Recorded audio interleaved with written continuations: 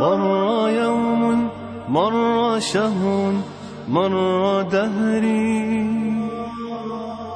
وسط لهو واتكال ضاع عمري Saudaraku, bukankah dunia ini begitu melelahkan? Berkali-kali kita letih dibuatnya. Bisnis, karir, ego, nafsu, dan kepentingan. Semuanya membakar obsesi kita sejadi-jadinya. Hingga kita terengah-engah mengikuti kehendaknya. Ya, dan bukan itu saja. Mereka membuat kita rela mengorbankan apa saja. Ya, apa saja. Harga diri, kehormatan, keluarga, dan bahkan agama kita.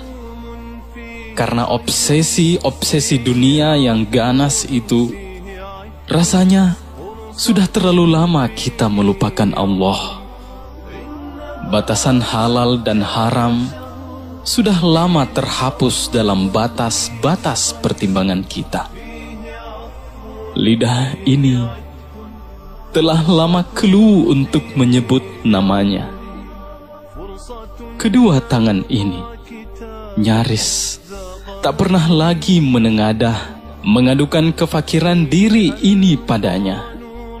Dan kening ini entah telah sekian lama tak pernah tersungkur larut dalam sujud dan air mata.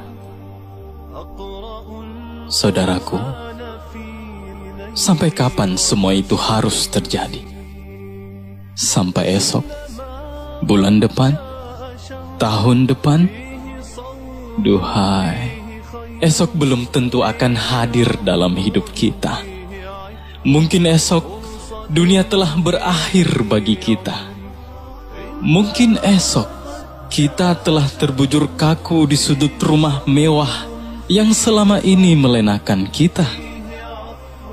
Mungkin esok secara tiba-tiba semua orang menangisi kita. Mungkin esok kita telah meninggalkan semuanya, dan tiba saatnya untuk mempertanggungjawabkan semuanya. Saudaraku, pulanglah, pulanglah kepadanya sekarang juga.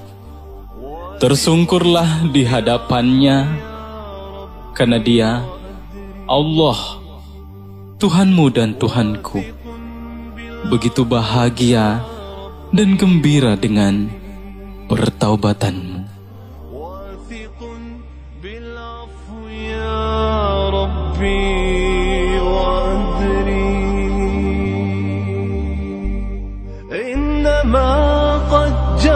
شهر فيه صوم فيه خير فيه عفو فيه عتق فرصة فيه لعمري إنما قد جاء شهر فيه صوم فيه خير فيه عفو فيه عتق فرصة فيه لعمري